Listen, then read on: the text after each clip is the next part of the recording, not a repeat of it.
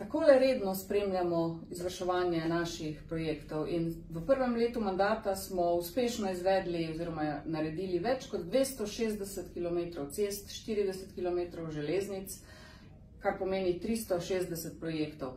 Dva največja infrastrukturna projekta smo spravili z mrtve točke, to je proga Divača Koper, tretja razvojna os.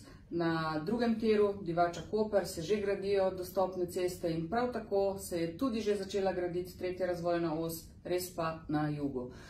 Koncu, ob koncu leta smo sprejeli tudi poroštven zakon, tako da je zaprta tudi finančna konstrukcija. In za vsemi temi projekti, ki jih lahko vidite tukaj, še posebej pa s tema dvema pomembnima infrastrukturnima projektoma, bo Slovenija še ukrepila svoj geostrateški položaj, povečala svojo rast in zagotovila tudi manj tovornjakov na cestah, kar pomeni, da bomo naredili nekaj dobrega za naše okolje. Leto 2020 ne bo srečno, ne bo točno takšno, kot si ga želite, nam pa seveda želim čim več uspešnih infrastrukturnih projektov.